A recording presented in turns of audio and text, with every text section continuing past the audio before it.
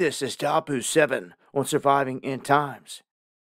I want to share with you guys here some information connected to CERN, where CERN has just come out and admitted that they have some 40,000 different accelerators spread across the planet in different locations, and they're doing many different things at these locations. Now, from their own admission as well, they have stated they are trying to fold the next dimension in on the current dimension, which means opening up a portal, wormhole, call it what you want. It could let something in, or they could try to go through it. Vice versa. They've been telegraphing this throughout the years and dropping little breadcrumbs of information.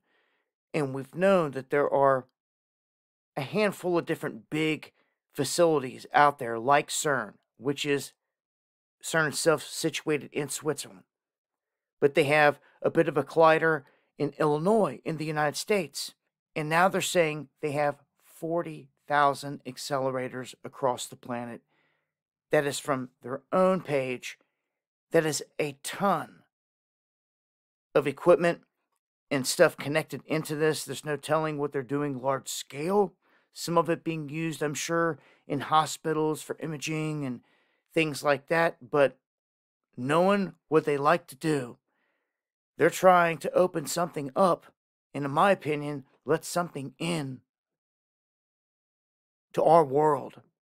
And they have admitted as much. So now they have a ton more facilities to do this. I wanted to let people know. Remember, Elon Musk himself, in terms of all this technology and what they're doing, he said they are trying to summons the demon.